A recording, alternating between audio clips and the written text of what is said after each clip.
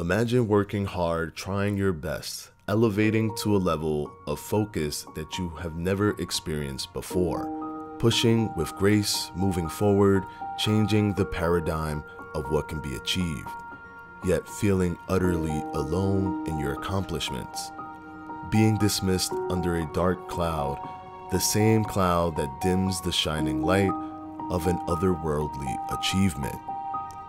That's what it must have felt like to be Florence Griffith Joyner, the fastest woman of all time.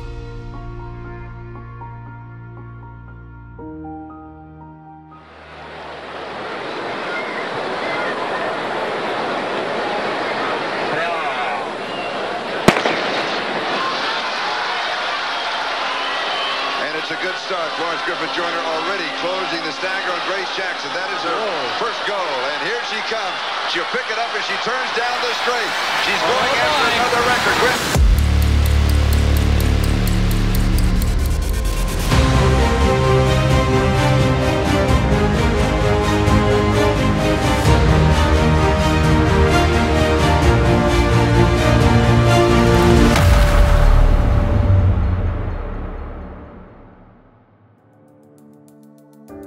Florence Dolores Griffith was born December 21, 1959 in Los Angeles, California. She was the seventh child born to Robert and Florence Griffith. Florence lived a very humble life as her mother decided early on to move with her children to the Jordan Downs public housing complex in the Watts section of Los Angeles. Florence's road to the top began right here in Watts, one of the roughest neighborhoods in the city of Los Angeles. These projects were her track. These tough streets were the first blocks that she exploded out of, her springboard out of the ghetto. I didn't know until I got older exactly what a ghetto was. I had a very happy childhood. I didn't I wasn't really aware of the area I was living in as a child until I got older and got out. This would drive a lot of the inconsistencies that would plague her future running times as she would do what she needed to do to help her mother as best she can. She began running track in elementary school, joining the Sugar Ray Robinson Organization for Track and Field.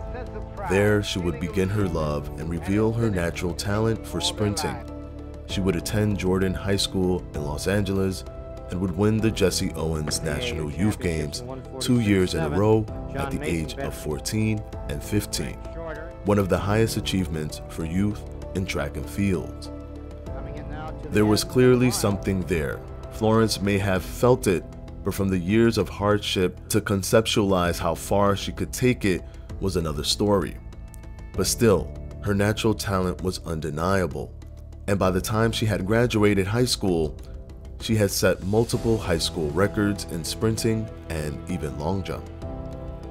Her 200 and 400 meter running ability afforded her a scholarship that allowed her to go to college. Florence decided to join California State University at Northridge and continued her pursuit with sprinting by joining the track and field team, coached by Bob Kersee. The track team that consisted of future Olympians Alice Brown and Jeanette Bolden won the national championship during Florence Griffith's first year in college. However, this is where her past pushed up against her present. Not seeing a clear financial path to change her living style and continue to help her mother, she decided to drop out and instead worked as a bank clerk and a part time hairstylist. She simply wanted to do her best to make ends meet. With her coach seeing so much potential in her, it broke his heart to see her give up something she was so good at. He lobbied to get her a sponsorship so that she can continue to pursue running.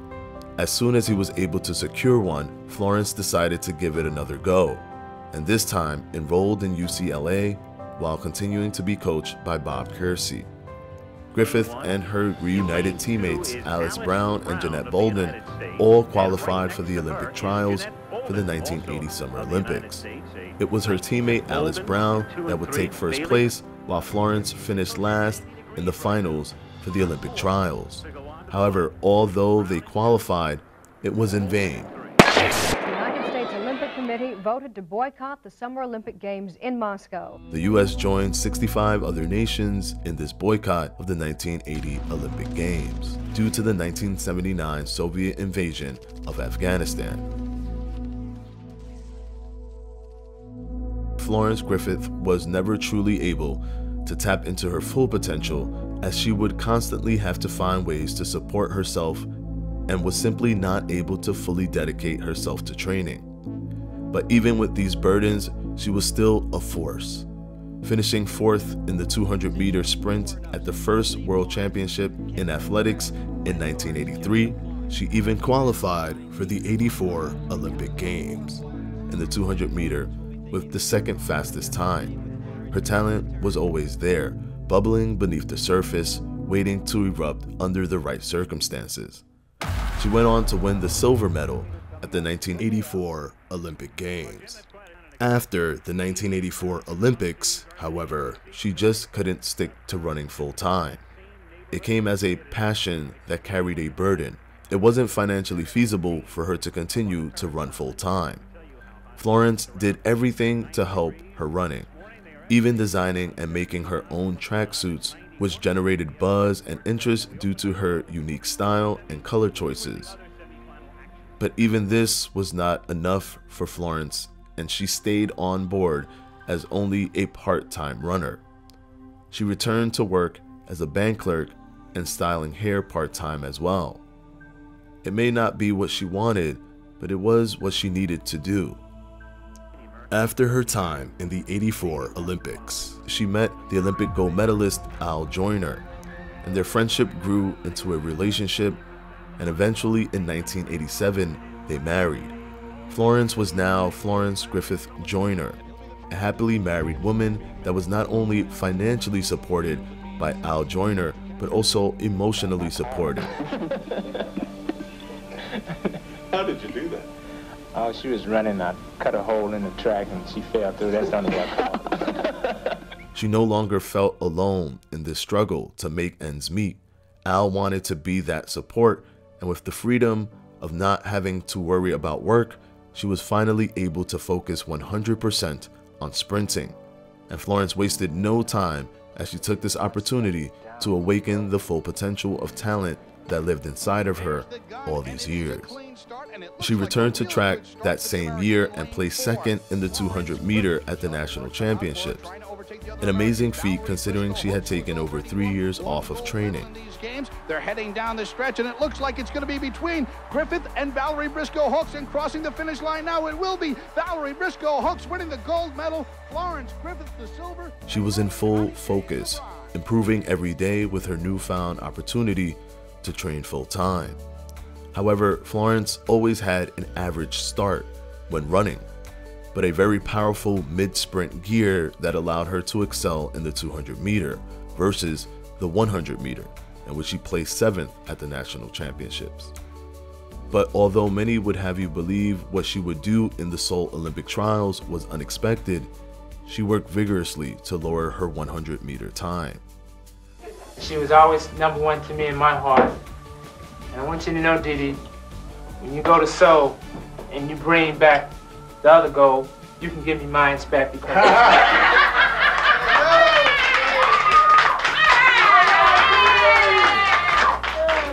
Working with both Bob Kersee and her husband Al Joyner as her coach, she began to shave her 100 meter time run, running a 10.96 second 100 meter sprint, a personal record at the time. She was working very hard and was able to qualify for the Olympic trials in 1988. Florence Griffith Joyner yesterday was able to wear an outfit that was as different as the speed skating outfit she wore last year. It had one leg as that one does, and this is the third version of this outfit uh, that we've seen. She says it feels comfortable.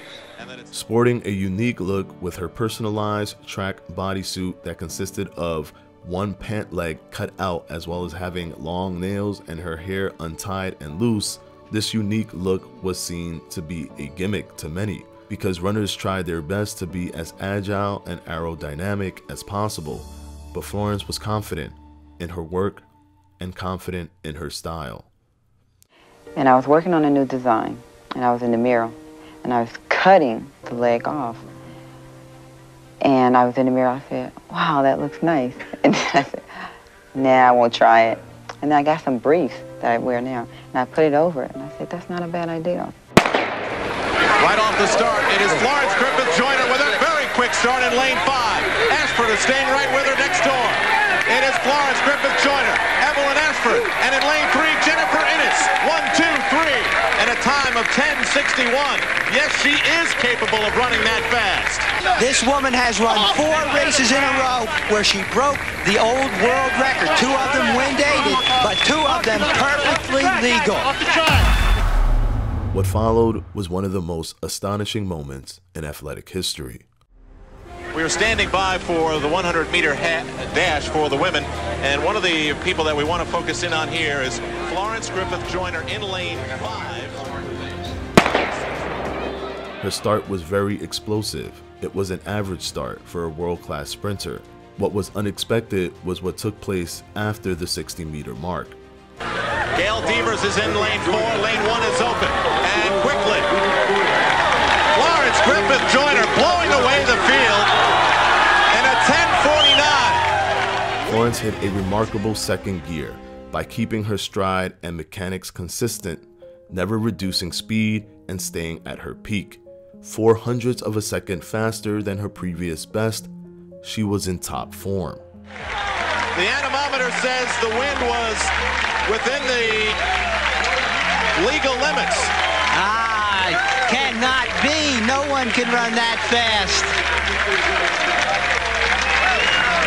The heat here must be doing something to the electronics, but she won by such a margin over Gail Devers, who earlier this year set the American record in the 100-meter hurdle. So that was... And then lightning struck again.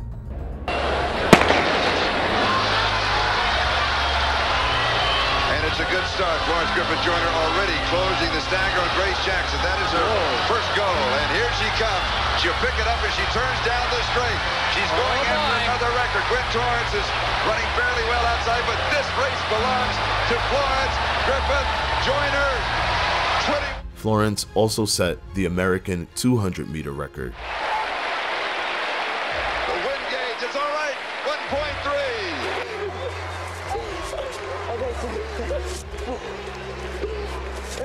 She also completed the 4x400 and the 4x100 meter relay, winning silver in the 4x400 and gold in the 4x100 meter relay.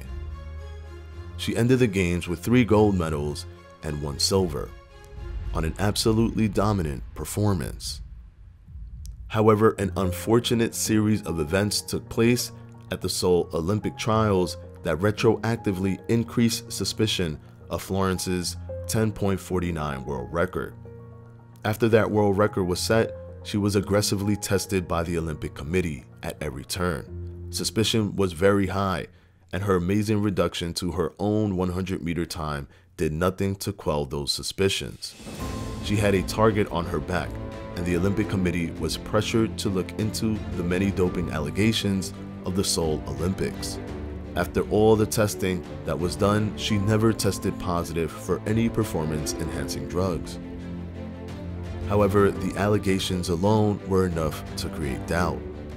Although there were suspicions of drug use, many still celebrated the feat, and she was given the nickname Flojo.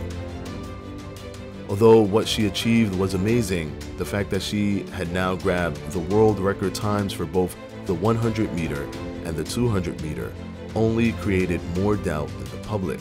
And with Olympic runners like Ben Johnson setting a world record and then subsequently forfeiting his gold medal due to testing positive for performance enhancing drugs, it only helped to fan the flames even further for Flojo's accomplishments. But Florence never tested positive, not before nor after the events, but the dark cloud of the games and the public perception robbed her of her full glory. It was truly a tragedy of an athletic moment in time. Flojo decided to retire after the 1988 Olympic Games, pointing to other business opportunities that arose due to her achievements. Although public perception was split, the Olympic Committee, having tested Flojo thoroughly, were convinced that she did not have any unfair advantage. The Olympic Committee Medical Commission was quoted stating, We performed all possible analysis on her. We never found anything. Flojo was selected as the winner for the James E. Sullivan Award of 1988 as the top amateur athlete in the United States. Florence would go on to have a successful life outside of running with toys made in her likeness. Also, with her talent in designing clothing, she was selected to be the designer for the Indiana Pacers uniform. But till this day, she was never given the full credit for her athletic achievements, and many have stated that her record breaking 1988 performance has hurt women's track and fields, hinting at her possibly using performance enhancers. Flojo would suffer multiple seizures after her retirement, and although there were talks of returning in 1996, the multiple seizures as well as tendonitis injury in her leg kept her from returning. Sadly, on September 21, 1998, as her alarm was going off and her husband leaving to bring her daughter to school, Al noticed Florence completely still in her bed. As he approached her, he shut off her alarm and was devastated to see that his wife and the mother to his seven year old daughter was dead.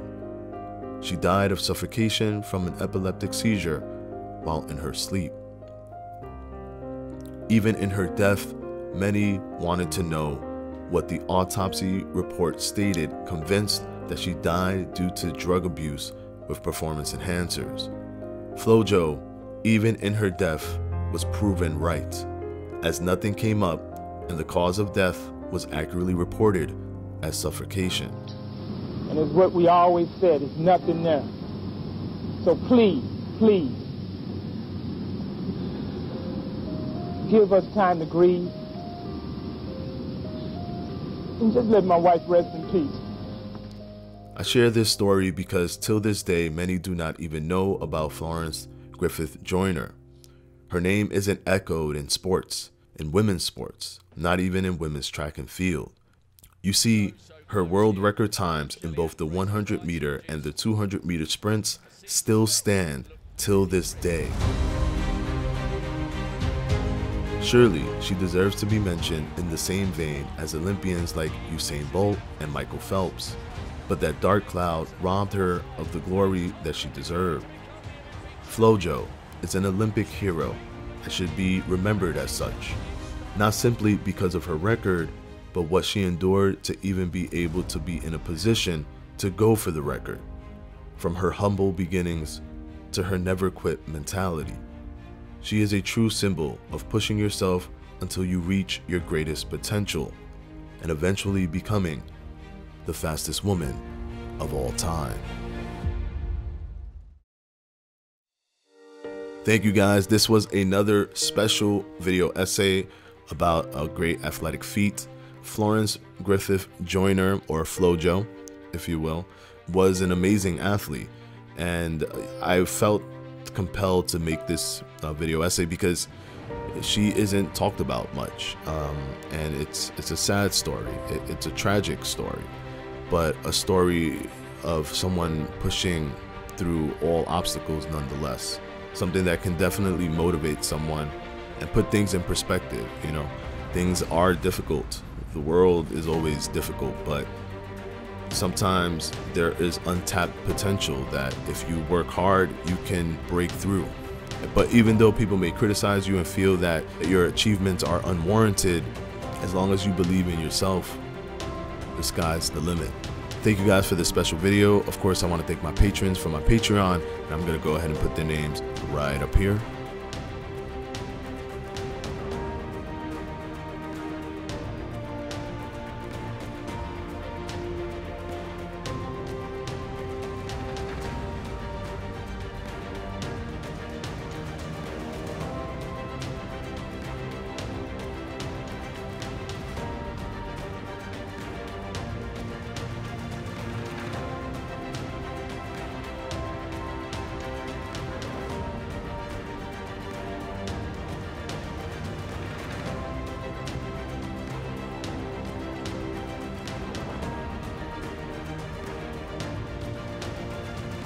And as always, guys, I'll see you on Wednesday for another FAQ. peace. You know, real change doesn't happen overnight. You have to keep giving yourself positive messages to strengthen self-esteem. And in turn, you'll be motivated to take actions required to reach your goals.